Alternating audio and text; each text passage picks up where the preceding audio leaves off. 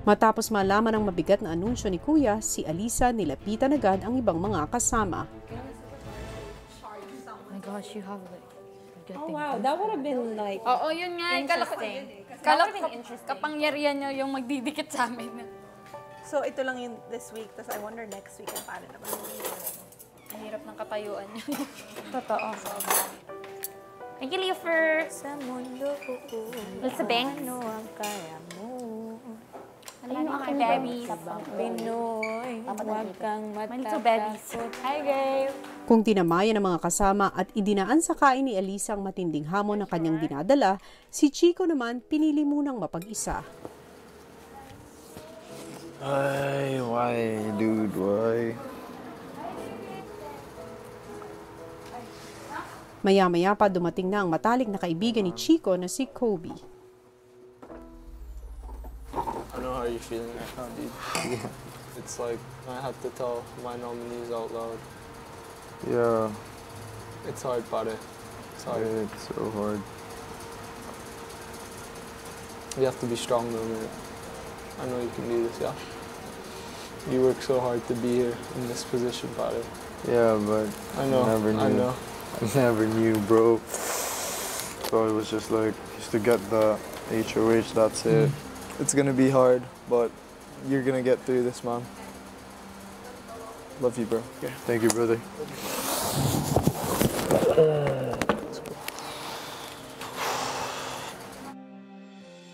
Matapos kausapin ni Kobe si Chico, si Alisa naman ang nilapitan ni Kobe.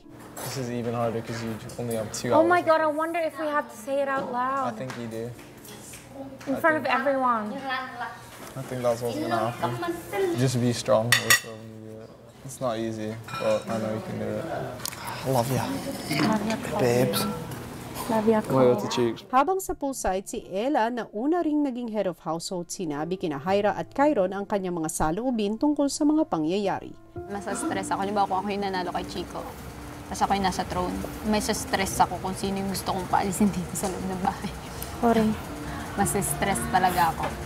Makalipas ang ilang oras, meron na lamang 15 minutes ang heads of household na sila Alisa at Chico para magdesisyon para sa pipiliin nilang mga nominado. Wala pa akong decision talaga. Totoo lang. Kasi feeling kapag pinag-isipan ko siya, mas lalo lang ako mas-stress. Kung ano na lang yung masabi ko doon, yun na yun. At least, at least alam alam nating lahat na it came from my heart kasi I didn't think about this. I don't want to think about it. It's just gonna come out. Matapos ang dalawang oras na ibinigay ni Kuya, una niyang tinawag ang head of household na si Chico sa confession room. dumating na ang takdang panahon upang pumili ka ng mga magiging nominado. Tanggalin yung pulang tela.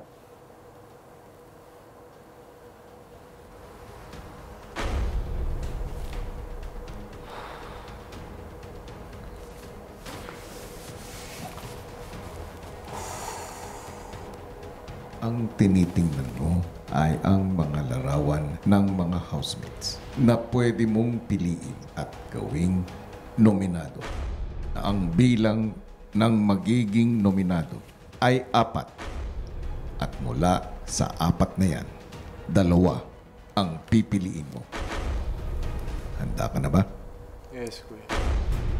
Ito po siya, kuya. Minsan hindi na po niya maisip yung mga housemates niya po. Gawin lang po niya yung anong gusto niya pong gawin.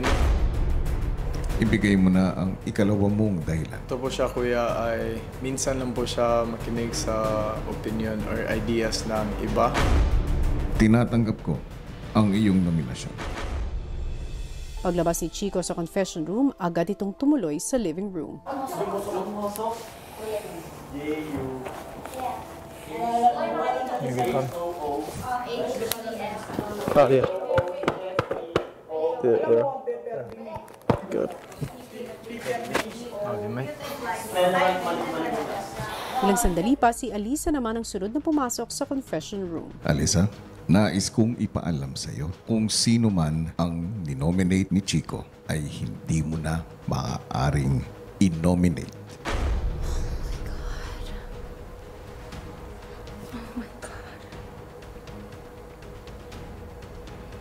Ka na bang malaman ang ibinoto ni Chico? tanggalin ang pulang tela na nasa harapan mo.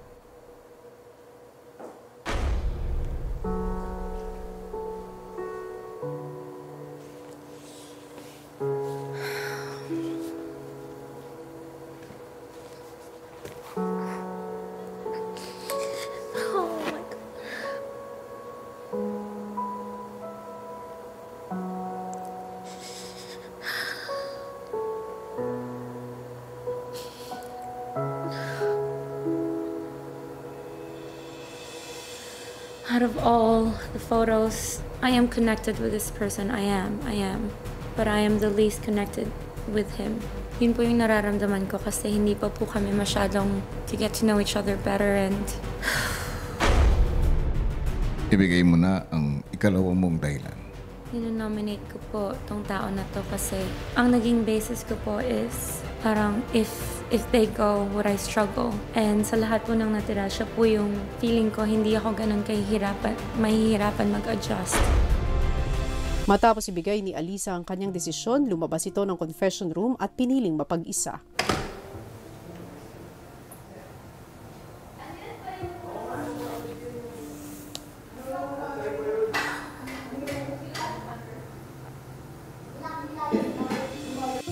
Matapos ang ilang oras, pinatawag muli ni Kuya ang heads of household sa confession room at ang ibang housemates naman ay nagtipon-tipon sa living room para sa mahalagang anunsyo. No way, man.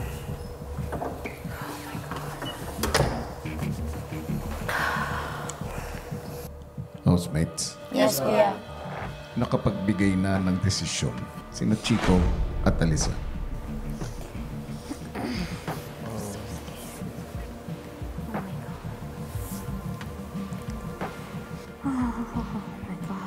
Housemates, ngayong gabi ay magkakaroon tayo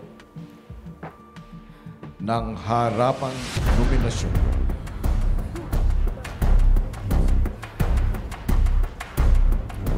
Sasabihin ni na Alisa at Chico ang kanilang mga dahilan at ang mga tao na kanilang pinili.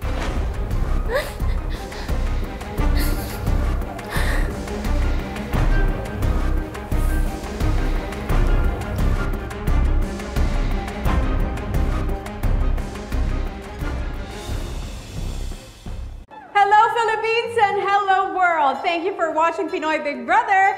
Stay connected and don't forget to subscribe to Pinoy Big Brother YouTube channel para maging updated sa latest happenings sa loob at labas ng bahay ni Kuya. And don't forget to like, comment, and share this video.